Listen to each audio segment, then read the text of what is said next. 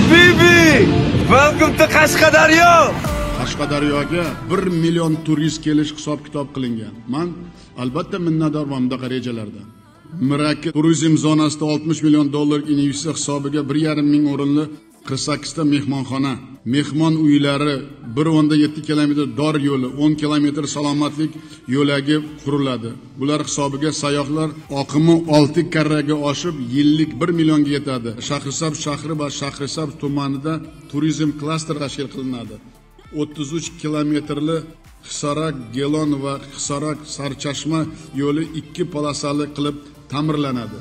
Chiroqchi sho'rquduq avtomobil yo'li o'ttiz kilometr ta'mirlanib samarqanddan shahrisabzga qatnov qisqaradi.